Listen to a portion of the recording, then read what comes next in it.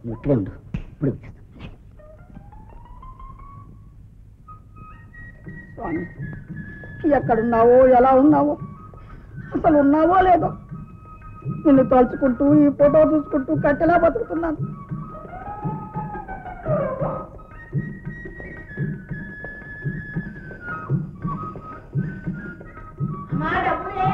ఎక్కడా? అయ్యో లక్ష్మిరా లక్ష్మిరా నాయనా. అయ్యో. ఏంటంటే నువ్వు చూడకూడదు ఫాదర్. ఊరివారి సొమ్ము తాకట్టు పెట్టిన సొత్తు ఈ బీరువాలో పడి మగ్గిపోతున్నాయి. మీ ఇద్దరు నాకు కూడా రండి అలా పోయి గాలి పీల్చుకుందాం.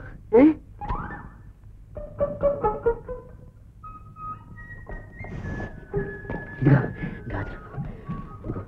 నాటకం ఆడి రెండు వందల రూపాయలు సంపాదించాలి. ఏ మాత్రం ఫెయిల్ అయినా వీపు చీపురు పట్టట్లాడిపోతుంది ఆడుతానో ఆడిస్తానో చూస్తావుగా?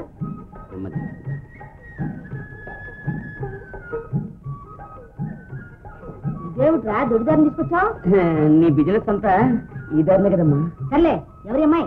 మా అన్నయ్య గారు చెల్లిందండి మీ అన్నయ్య గారు చెల్లెలు మీ అక్కయ్య గారు చెల్లెలు నాకు అనవసరం. ఎందుకు వచ్చావు? మీ అబ్బాయి తీసుకొచ్చి వచ్చానండి. అదేనమ్మా. పాపం వాళ్ళు చాలా కష్టాల్లో ఉంటేనే రెండు వందల రూపాయలు అప్పిస్తావని.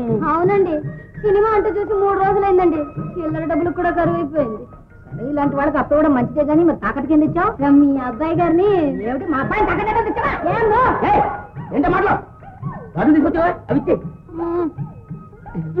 ఇదిగోండి. బంగారమేనా? బంగారం లాగే ఉన్నాయమ్మా. సరే. ఏమనుకోకమ్మా?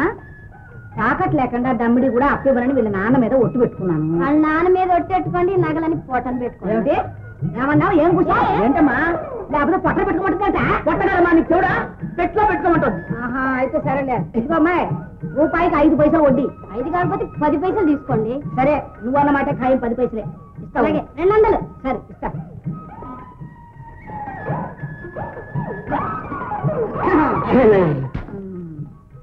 ఇగో లెక్క చూసుకో. మీరు ముందు గాజులు చూసుకోండి.